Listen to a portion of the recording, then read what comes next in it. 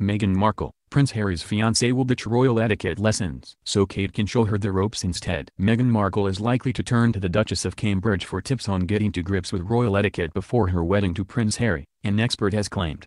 The former Suits actress, 36, may be encouraged to rein in her touchy-feeliness ahead of the big day but is unlikely to be given formal lessons, says royal etiquette expert William Hanson. Those who have been there, done that and got the tiara including Kate and Camilla, Duchess of Cornwall will help coach Ms. Markle ahead of her wedding at St. George's Chapel in Windsor Castle on May 19.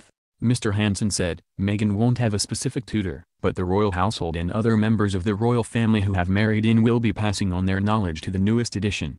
Meghan will also be observing others, too, watching and copying certain mannerisms or tricks that they do to cope and successfully navigate the pitfalls of court life. Her fiancé will, of course, also be sharing his considerable knowledge too. Mr. Hanson added that Kate, as her future sister-in-law, could be offering Ms. Markle the most important advice. He said, as the most recent person to marry into the royal family the Duchess of Cambridge will be of the most use to Meghan, I would imagine. I suspect Catherine will be passing on an array of things she has learned, some the hard way, to Meghan, mainly focusing on wardrobe pitfalls and traps and perhaps also conversational techniques too. LA-born Ms. Markle may get away with breaking certain etiquette rules due to being American, Mr. Hanson suggested. He explained, I suspect Prince Harry may have given her an amusing rundown on the many weird and wonderful ways of the English class system. But as an American, I think Meghan will be given a get-out-of-jail-free card with all that, unlike Catherine as the English do often excuse foreigners from knowing the ins and outs of it all. He also revealed that Prince Harry's bride-to-be might struggle with terrain in her tactile nature. He said,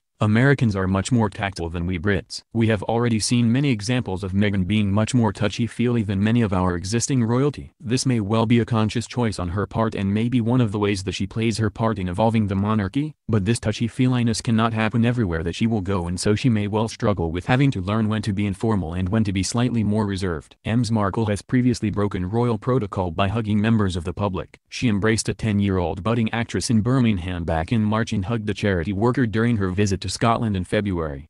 Mr. Hanson said he would advise Ms. Markle to take her time when getting used to royal etiquette in a bid to succeed. Meghan is clearly going to shake things up a bit for the royal family, but I hope not everything gets changed overnight, he added.